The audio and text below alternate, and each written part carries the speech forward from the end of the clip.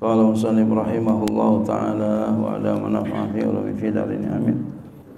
Wa qala Ibnu Atha'in inna Allah taala lamma khalaqal ahrufa ja'ala sirran lahu. Berkata oleh Ibnu Atha sesungguhnya Allah taala tatkala menciptakan huruf-huruf ya, jadi huruf huruf tuh huruf-huruf hijaiyah itu Allah yang ciptain. Allah jadikan huruf-huruf itu rahasia untuknya. Rahasia bagi Allah.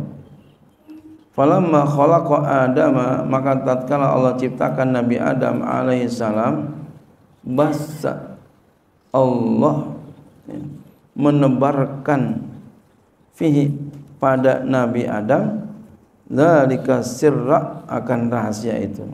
Jadi dikasih kepada Nabi Adam.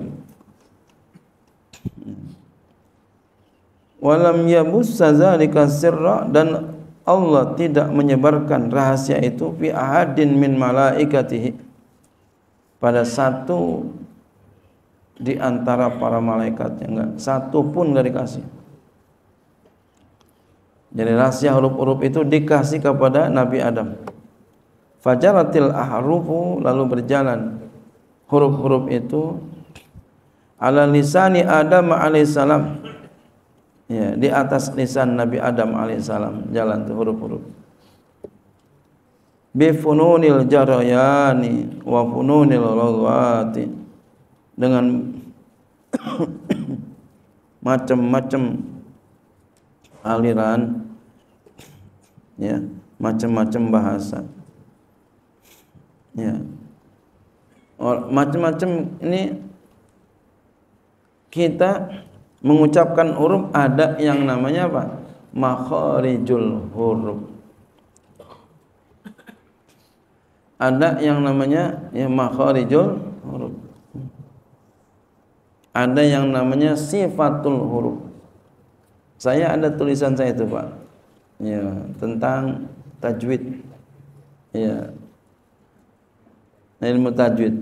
Silakan aja beli itu yang punya buku, yang ya, pengen beli silakan saya punya itu. Tuh bagus sekali itu. Insya Allah bagus sekali. Udah di tas saya itu. Dengan macam-macam aliran. Jadi kita nih dalam mengucapkan huruf itu macam-macam. Enggak semua sama. Ya. Enggak semua sama. Beda-beda. Nanti ada makharijul huruf. Hurufnya macam-macam. Ada sifatul huruf. Sifatnya macam-macam. Enggak sama Allah punya kehendak itu. Dan macam-macam bahasa macam-macam bahasa. Ada bahasa di Indonesia bahasa banyak. Ada bahasa Sunda Jawa Padang Batak Madura ya. Kalau Betawi sama sama Indonesia ya. Melayu. Ya. Macam-macam bahasa. Di Indonesia tuh macam-macam bahasa Iya. Karena memang dulu di Indonesia ini banyak apa? Banyak kerajaan-kerajaan, banyak negara-negara kecil, yaitu kerajaan-kerajaan kecil. Itu mempunyai kebijakan masing-masing. Kemudian menjadi satu menjadi Indonesia itu enggak sembarangan itu. Enggak semudah membalik telapak tangan. Masya Allah.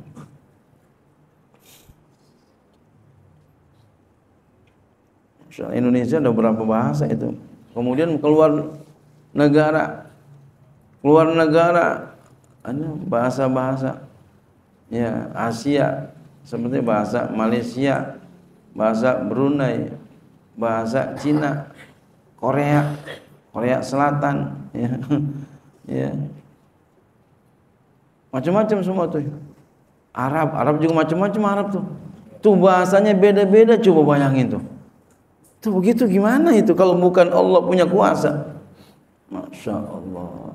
Tidakkah kita berpikir ini? Kita kata asal-asalan cong cong cong cong cong. Nah, padahal ada maknanya itu. ada maknanya subhanallah. Jepang, masya Allah. Allahu Akbar. Hebatnya Allah nih, hebat sekali. Faja'alallahu suwaran laha. Lalu Allah Ta'ala jadikan huruf-huruf itu bentuk-bentuknya. Ada yang keras, ada yang lembut, ada yang suaranya ya macam-macam tuh. Bentuknya bentuk suara itu beda-beda. Ada yang pales, ya. ada yang ya Allah lembut banget, dengarnya enak banget. Ada yang suaranya nyaring, ada suaranya gebu. Gebu singkong. Orang Betawi kayaknya suaranya enggak cakep-cakep ya.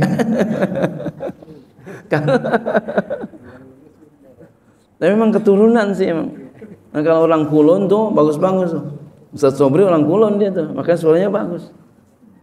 Orang Sunda tuh apa? Sunda tuh bagus-bagus tuh. Iya. Ah. Hah? Bima bagus-bagus. Apa namanya? Eh, Banten eh, Banten bagus. Nah, kemudian daerah sana itu dah Aceh, Sumatera, nah, itu bagus-bagus. Betawi kan ya, waduh.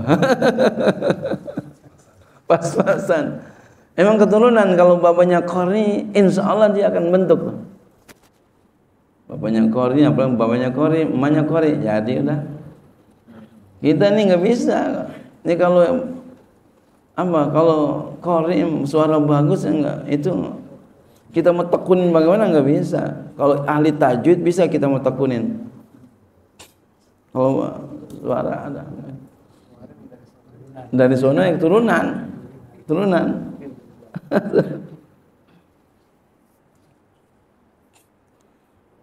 iya. Kalau ada bagus orang Betawi pasti ya mungkin ada campuran-campuran. Ya, jadi yang namanya keturunan itu pengaruh. Sama penyakit juga keturunan tuh. Gula darah, keturunan gula darah. Gula manis. keturunan. Sama nih keturunan. Ini saya kemarin ini tangannya kaku aja. Kaku aja. Saya ke dokter. Lalu dioperasi di sini. Saya tanya apa penyebabnya dokter?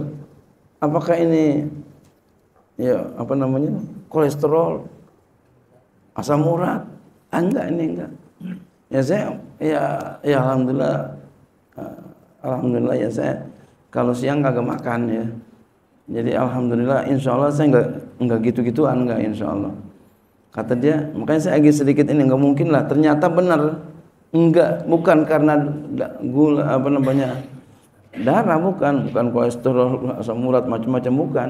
Kata dia apa? Ini potensinya. Emang udah dari sononya kalau ini mah. Kata dia entar gini bakal begini nih. Bakalan begini memang benar ini.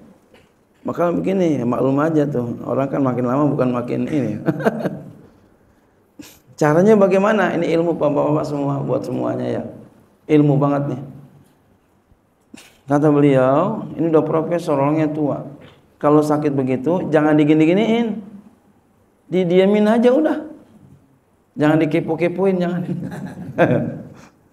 diamin aja deh, diamin aja udah. Dah diamin aja. Ana, pasrahin aja dah. Pura-pura aja, pura-pura. Pura-pura. Gitu. Ini ilmu banget. Soal kenapa? Sebelum saya berobat waktu itu di ya di RSPAD itu saya berobat di sini nih. Bukan jeklekin rumah sakit ini bukan. Itu. 28 apa itu? Ya 28 dia bilang apa? Ini harus digini-giniin katanya. Allahu Akbar. Akhirnya ya digini-giniin saya beli obat apa namanya yang apa namanya olahraga itu olahraga jari mungkinan begini, mungkinan begini. Kata lalu kemudian saya pindah ke sana. Kata dokter di sana jangan digini-gini bertentangan. Hmm. Jadi yang benar yang di sana benar memang jangan digini-giniin. Jadi ketika digini-giniin dia semakin kuat ini. Iya, termasuk saraf pejepit juga nih. Yang ada di tangan. Di sini juga ada juga di sini. Ya, Di sini banyak orang kayak begini. Jadi biarin aja. Kata yang dokter di sini kata dia disuntik. Kata yang di dokter sono katanya jangan disuntik. Allahu Akbar bertentangan begitu. Dia tunjukin pak. Ini buktinya nih. Ini yang disuntik begini semua nih. Masya Allah. Dikasih tunjuk sama dia. Akibatnya begini. Ternyata benar. Padahal disuruh ditulis ahli saraf gitu ya. Alhamdulillah udah nggak apa-apa dah. Nah, biasa aja lagi. Nah itu, itu sedikit pengetahuan yang namanya bapak-bapak kan ada aja yang begitu ya. Ada aja nih kita makin lama bukan makin muda, makin tua. Masya Allah. Jadi caranya begitu, biarin aja dah biarin, jangan dikepo-kepoin jangan. Biarin. Emang begitu.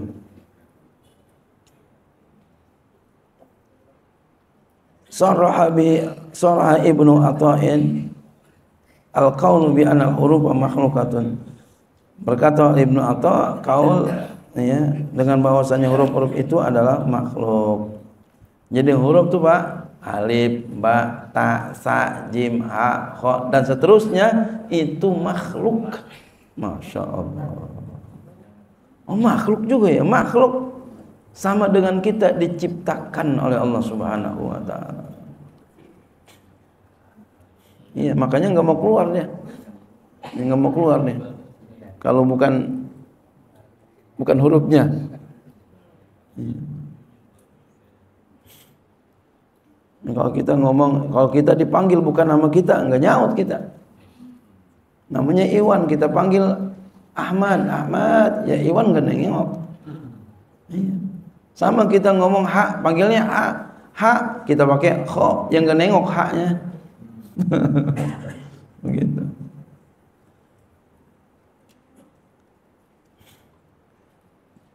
Jadi Pak kita kalau umpama nggak bisa huruf-huruf Fatihah itu ya kita berguru sama orang yang sama ustadz yang bisa yang fasih atau sama teman kita tanya yang fasih coba dengerin dah Fatihah gua gitu. Dengerin Fatihah gua bener apa kagak? Ya, kagak mau gitu.